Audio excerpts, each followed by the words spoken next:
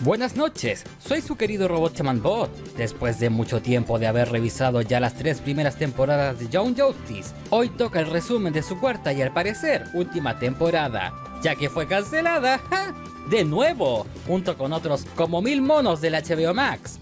Más, inclusive series que ahora solo podrás encontrar siendo un bucanero. Ah, pero para arruinar franquicias, sí son buenos aunque Justicia Chavisa puede volver a resucitar de su cancelación, de nuevo como Futurama. Tengamos fe y empecemos de una vez con una de las mejores series de superhéroes que se ha creado. Excepto por sus cuatro primeros episodios, que o oh, por el amor de Superman Prime son un somnífero. Y antes de que me peguen, no se preocupen, la temporada sí se pone buena. Y por otro lado, les recuerdo que yo soy ultra fan de esta serie y de todo DC. Ahora que me puse el parche antes de la herida, déjenme matizar el motivo de por qué considero esta primera parte de la temporada bien ZZZ. Connor y Megan viajan a Marte a celebrar su boda con los suegros marcianos de Connor, ya que Megan no tiene, bueno sí tiene, pero es malvado y pelado, pero tiene tremenda voz. Al principio es todo muy bonito y romántico, un capítulo de Dramón está bien, pero dos, tres, Aquí se estira el bla bla y el muac muac por cuatro interminables episodios.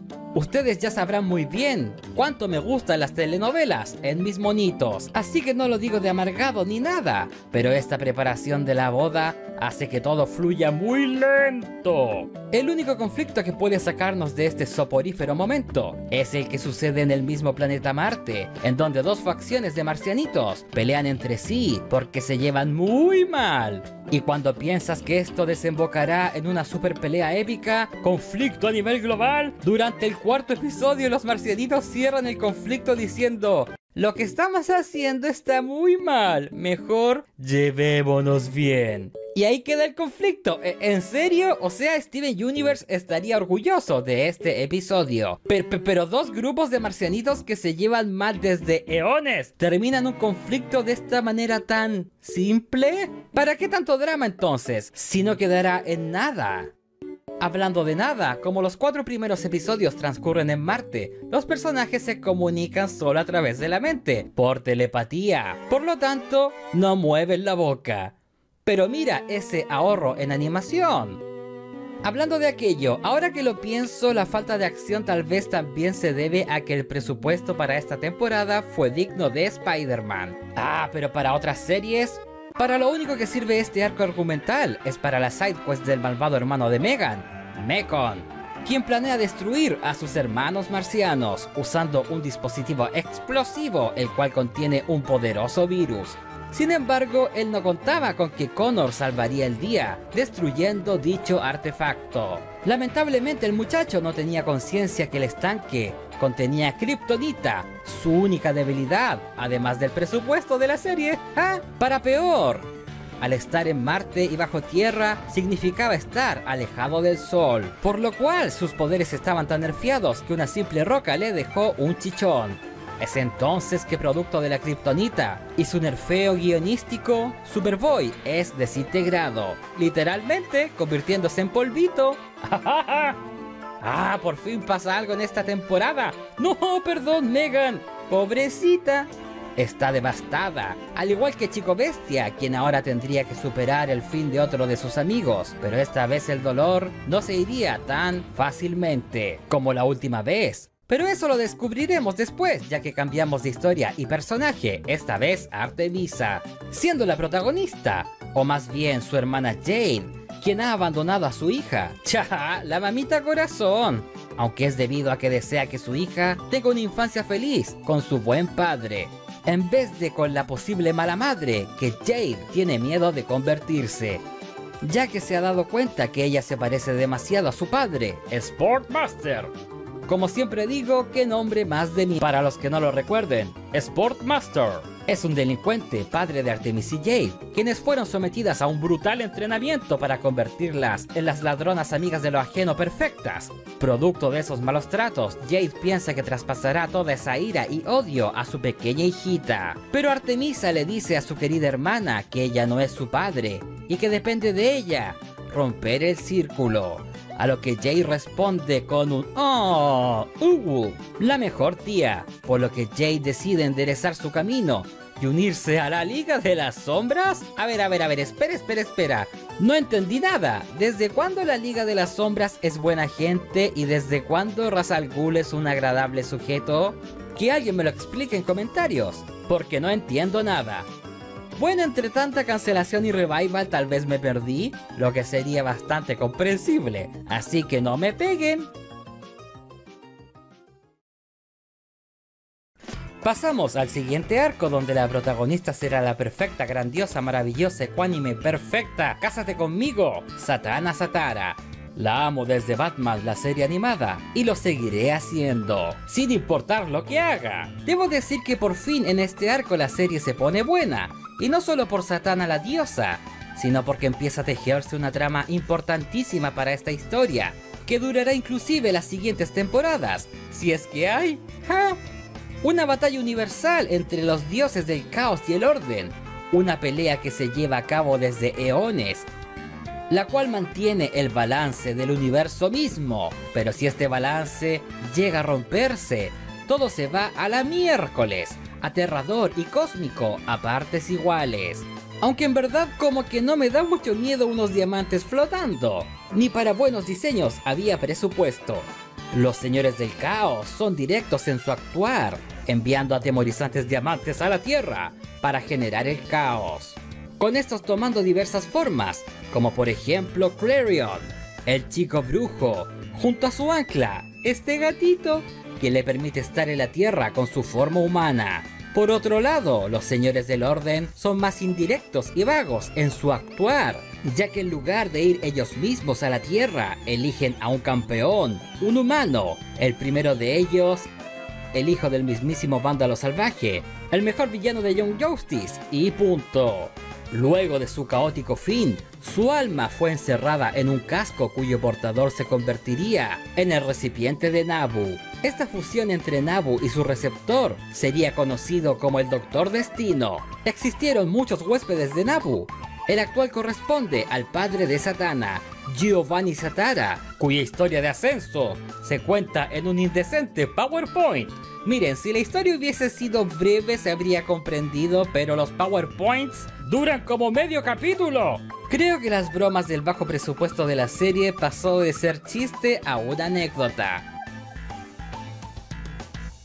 En capítulos anteriores de Young Justice pudimos observar uno de los más dramáticos desenlaces para un personaje. Cuando Nabu eligió a Satana como su nuevo huésped, Giovanni decidió sacrificarse para ser el nuevo Doctor Destino, para así salvar a su hija. Sin embargo, esto le costó la mayor parte del tiempo con ella, donde Nabu solo les permitía pasar una hora juntitos cada año. Sin embargo, esta maldición se rompería cuando Nabu eligiera a sus nuevos huéspedes. Dos alumnos de Satana, ahora padre e hija, podrían estar juntos solitos para siempre. Solo costó la vida de sus propios alumnos. Aún así la amo, no puedo evitarlo. Claro que antes de convertirse en merecedores herederos del casquito, deberían derrotar al jefe de este arco, una pequeña brujita, quien en realidad es una señora del caos. Y en verdad da miedo, al menos más que un diamante flotando. Esta pequeña ha sido enviada por los mismos señores del caos a reemplazar a Clarion por ser un inepto. Ya que no ha logrado nada desde que llegó a la Tierra hace un chilión de años. Solo hundió la Atlántida, pero hey, tal vez no es mucho para ellos. Aunque Clarion realizó esta maldad por los jajás, la idea original fue del mismísimo Vándalo Salvaje, que con este acontecimiento esperaba crear una nueva forma de metahumanos a partir de los sobrevivientes, conocida como los Atlantianos, la gente pescado. La pequeña brujita cumple con su cometido derrotando completamente a Clarion, cortando su vínculo con la Tierra, eliminando a su gatito. ¡No!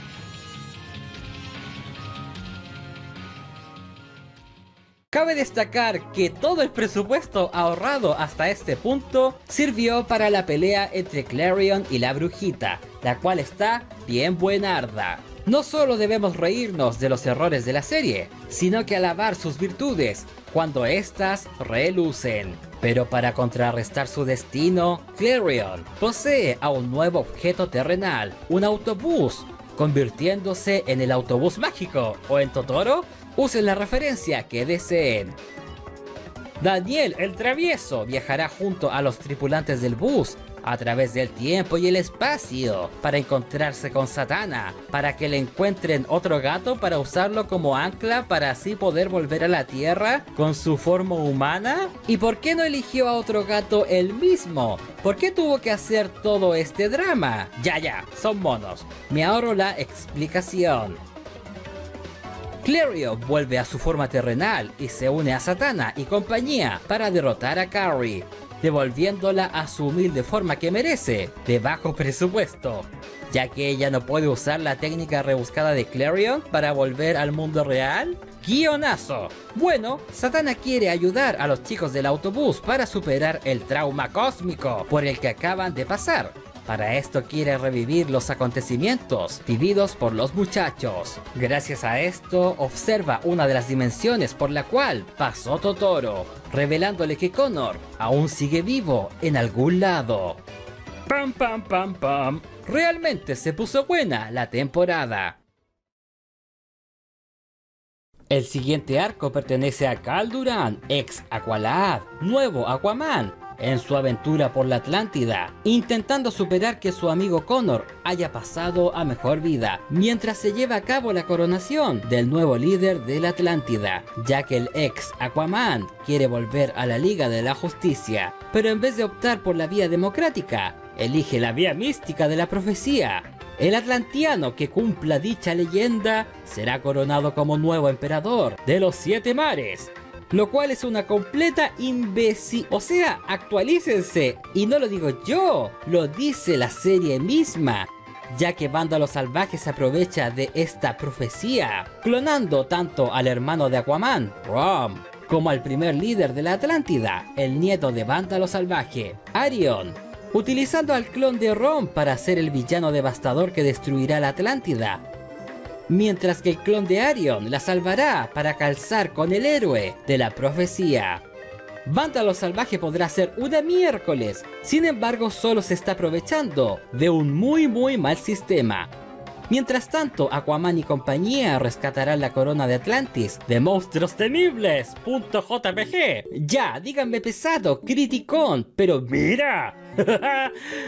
ah, aunque como siempre, no es culpa de los pobres animadores, sino de los miserables tacaños de HBO Max. ¡Oe! ¡Suelte las monedas! Lamentablemente, todo le malesal al vándalo. Primero, Aquaman descubre que su hermano verdaderamente es un clon, así que lo libera, ya que él nunca hizo nada malo y todas sus memorias son de su hermano. Ahora el clon será libre de toda culpa, ya que no es el malvado verdadero y todos y cada uno de sus recuerdos son falsos. Ah, crisis existenciales por las mañanas, mis favoritas. Va a necesitar varias sesiones de terapia con la canarita. Segundo, el clon de Logra engañar a todos y coronarse como el nuevo rey de la Atlántida, utilizando la corona del Arion original, entregada por los señores del orden, para mantener el balance en la ancestral Atlántida, para darle herramientas suficientes para batallar contra el caos, el cual había provocado Clarion y Vándalo Salvaje. Lamentablemente, al ser un clon, el poder de la corona lo consume, literalmente, ¿ah?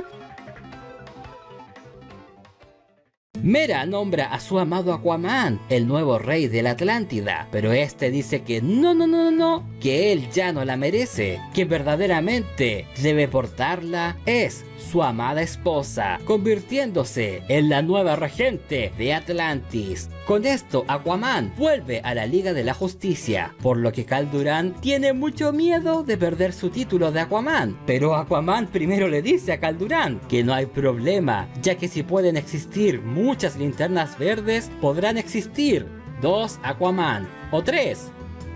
no entiendo nada. Y mucho menos entiendo ahora que nos encontramos con Connor, quien seguía vivo, tal como había dicho correctamente la apoteósica Satana, aunque realmente no sabemos dónde está, solo que es un lugar cósmico. ¡Oh por Dios! Está desnudo. No, no mentira. El cosmos le dio un par de calzoncillos, que fue lo único que la lava no pudo derretir. Vaya vaya, son de buena calidad. En esta zona encontrará a otros fantasmas, como dice el título de la serie como una misteriosa chica, Phantom Girl, la cual pertenece a un grupo llamado Legión, junto a sus compañeros, Chico Camaleón y Saturn Girl. Este trío fue formado durante el siglo 31, inspirado por Superboy. Lamentablemente uno de sus archienemigos, Lord Zod, viajará desde el mismo siglo 31 para eliminar a Connor, para que este nunca sirva de inspiración para la creación del equipo de Legión. Esto se va a poner enredado. Por esta razón, el equipo de Legión ha regresado en el tiempo, para así poder evitar el fin de Superboy, o en este caso encontrar la manera de liberarlo de la zona fantasma, el cual es el verdadero nombre de la zona donde ahora reside Connor. Connor se encontrará con mil y una alucinaciones psicodélicas cósmicas, como su mismo amor, Megan o el mismísimo Barry. No, nos están dando la esperanza de que algún día volverá. Pero no, es solo eso, una ilusión, tal como nuestra ilusión de que regrese.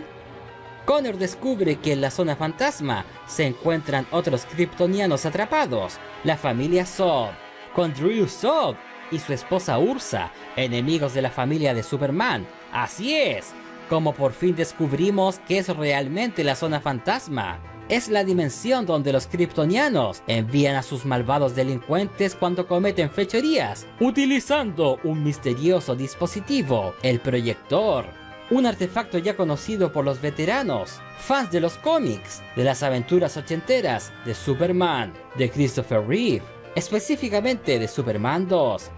Este aparato es deseado por Lord Zod, quien realmente es el hijo de la parejita capturada en la zona fantasma, Drew y Ursa. Preparen su cabeza porque esto se va a poner denso y cósmico, complicadamente hablando. Así que mejor ordenemos las ideas. Resulta que la familia Zod fue encarcelada en la zona fantasma antes de la destrucción del planeta Krypton. Después del fin del planeta Bellita, sin ningún superviviente para que los liberara, quedaron atrapados en esa prisión eternamente. Y como en la zona fantasma nunca pasa el tiempo, quedaron congelados en el tiempo hasta el siglo XXI, sin envejecer. Finalmente, por piedad, fueron liberados durante el siglo 31 por la Unión de Planetas Intergaláctica, pero para que no causasen más problemas, fueron exiliados a Daxam, un planeta con un sol rojo, por lo cual sus poderes no serían una amenaza, como si lo serían bajo un sol amarillo.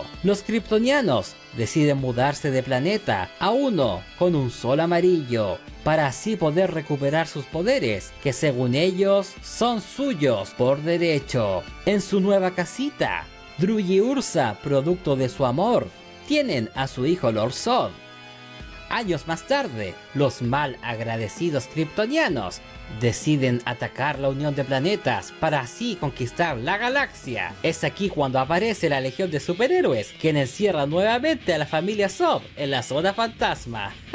Excepto por Lord Zod, debido a que era un menor.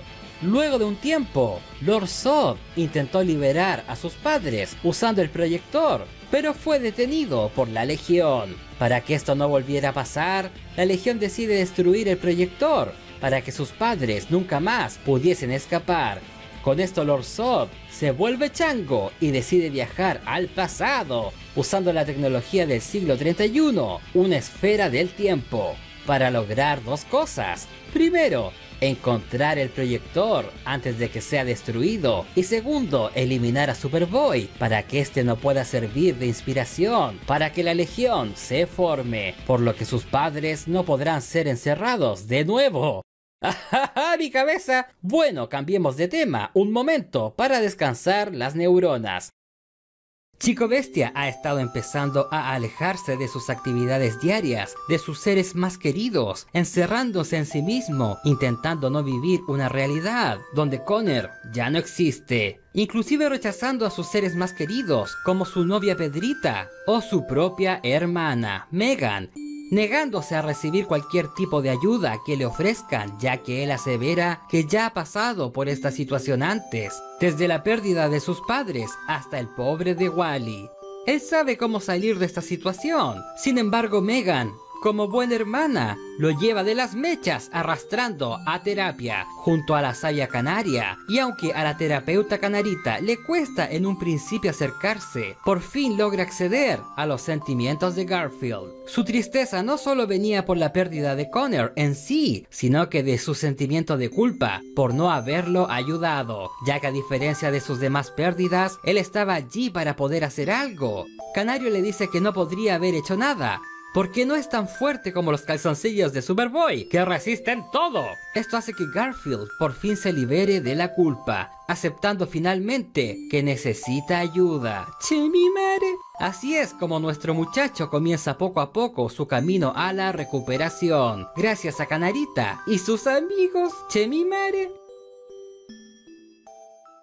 Bueno, mucha lágrima testosterónica. Volvamos ya a la trama principal. Con más sentimientos, los linternas verdes encuentran a Razer, ex linterna roja. A diferencia de los linternas verdes, cuyo anillo funciona con la fuerza de voluntad, los anillos de los linternas roja se alimentan de la ira. Cansado ya de su temperamento, Razer decidió cambiar de vestimentas y convertirse en una linterna azul, cuyos anillos son propulsados por el sentimiento de la esperanza. Lamentablemente se encuentra tan perdido en su viaje de iluminación que ya ha perdido toda esperanza. La esperanza es lo último que perdió. Razer va en búsqueda de recuperar su anillo rojo original, el cual había intercambiado por el anillo azul a Metron, quien es un dios, científico intergaláctico, estoico, quien no siente un ápice de interés por los sentimientos de los seres vivos. Su único amor es la información, y cada una de sus acciones es en pos de llevar a cabo sus experimentos, sin importarle si eso ayuda a alguien o no. También tiene el servicio de bodegas más grandes del universo, Amazon Intergaláctico, guardando un sinnúmero de cosas como el proyector de la zona fantasma. Recuerden eso para más tarde. Y por supuesto también alberga el anillo rojo de Razer.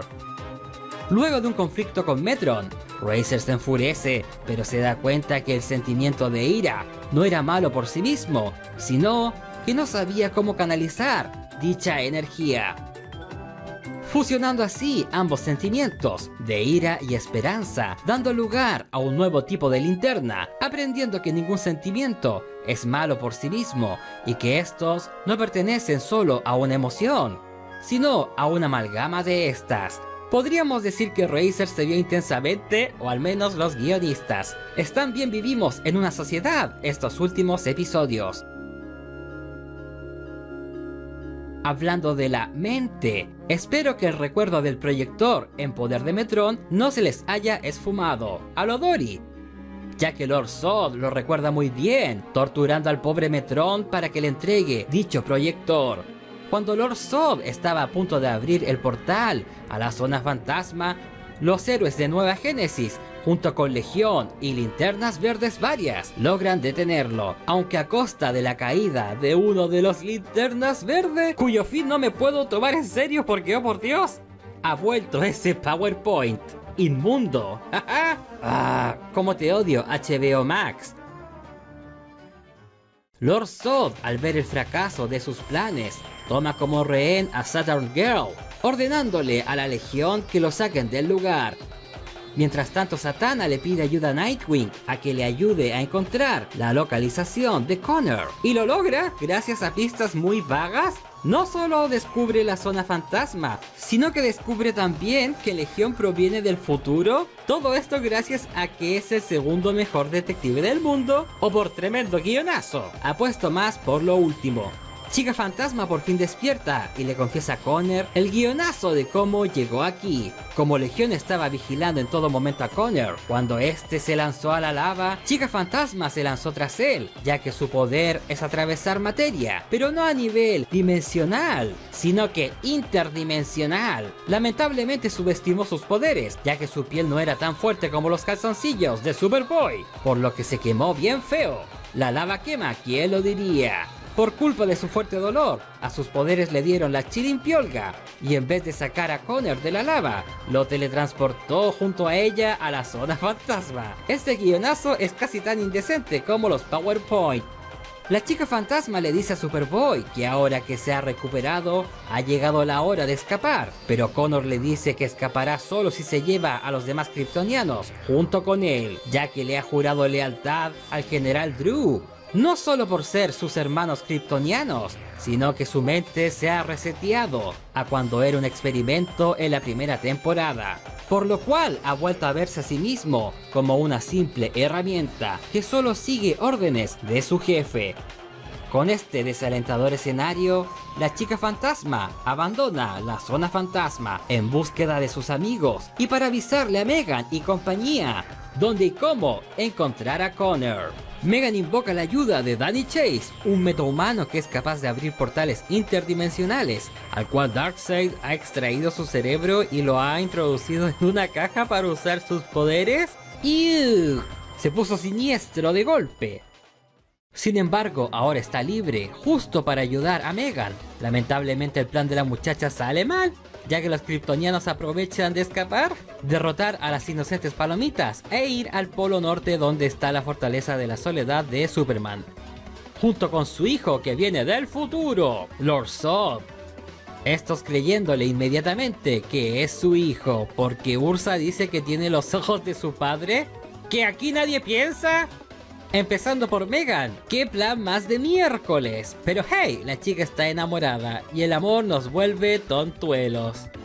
Otro plan que sale mal es el de Nightwing y Satana, quienes han encontrado la forma de ir a la zona fantasma, utilizando el autobús mágico. Lamentablemente no logran parar a los kryptonianos que están saliendo. ¿Para qué fueron? Más encima Drew se roba la kryptonita que tenía guardada Nightwing para utilizarla contra los kryptonianos atrapados en la zona fantasma. Oh por Dios, es uno de esos días donde todo mal es sal. Lord Zod revela su carta bajo la manga, el ojo de Mecreon, un poderoso artilugio quien ha elegido a Úrsula para darle un power up sacado del asterisco del guion, convirtiéndola en la emperatriz Esmeralda. No entiendo nada.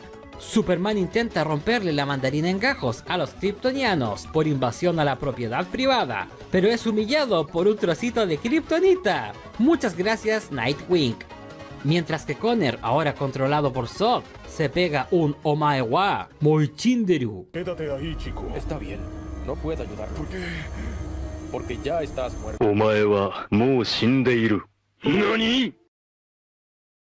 La familia Zod se transporta a Ciudad Metrópolis, mandando un claro mensaje a la Tierra, que ahora ellos son el regente de la Tierra y que se rindan sin oponer resistencia, ya que ellos poseen a sus héroes más poderosos bajo su control. El primero Superboy, habiéndose convertido en su lacayo, y el segundo Superman, inutilizado en modo Trek. Obviamente nuestros héroes no se rendirían y comenzaría la última épica batalla de la temporada para salvar la Tierra, la cual se llevaría a cabo todo en este último episodio.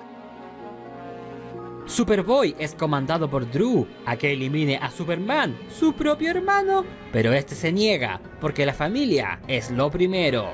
Megan recupera la mente de Connor, mientras la perfecta Satana le da a Superman la poción de felices por siempre, transformándolo nuevamente en Henry Cavill, con los superhermanos destruyendo a padre e hijo, enviando a Drew de vuelta a la zona fantasma. Mientras Ursa es raptada por el ojo, yéndose donde no sé dónde. Mientras Lord Zod usa la esfera del tiempo y regresa en el tiempo para asegurarse que Superboy desaparezca de una vez por todas, pero fracasa horriblemente en su cometido, siendo víctima de la explosión que Connor intentaba contener. Ahora sabemos a quién correspondía realmente el polvito de la roca, por fin algo que tiene sentido en este guion. Por otro lado, por fin tenemos la boda prometida entre Megan y Connor, con todos asistiendo a la boda de la parejita. Uh, solo por esto, solo por esto la temporada valió la pena. Un 10 de 10, definitivamente es cine. No, la verdad no, al menos no tanto. El clímax de la temporada se sintió bastante me debido a que los villanos realmente nunca fueron muy explorados que digamos, y realmente lo único importante que hicieron fue durante los dos últimos capítulos, ya que pasaron gran parte del tiempo encerrados. Así que supongo que es un final y ya está. O un final para algo más grande ya que Darkseid se roba a todos los kryptonianos atrapados en la zona fantasma para que formen parte de su ejército, incluyendo a la mismísima cara. Supergirl hace su aparición triunfal. No puedo esperar a qué ocurrirá en la siguiente temporada, si es que hay una. Pero les tengo buenas noticias, ya que hay rumores que Amazon está saltando el basurero de HBO Max, robándose todas sus series canceladas. De hecho, hace poco se confirmó que la nueva serie de Batman estaría en Amazon Prime. Así que tengamos fe, amigos míos. Mientras tanto, disfrutemos del baile de Shrek al final de la boda. ¿Qué? ¿No había presupuesto ni para el baile? ¿Pusieron perritos durmiendo? Ah, pero qué bonitos se ven. Básicamente el resumen de esta temporada, una temporada muy meh, pero con momentos bastante bonitos. Si les ha gustado este video, me ayudaría muchísimo que me dejasen un me gusta. Y se suscriban con campanita y todo para que sepan cuando suba el siguiente video. Pueden seguirme en redes sociales, abajo en descripción y en el comentario fijado. Sobre todo en el tweet, donde vemos cositas que acá no podemos. Muchas gracias por ver hasta el final y me despido. Adiós.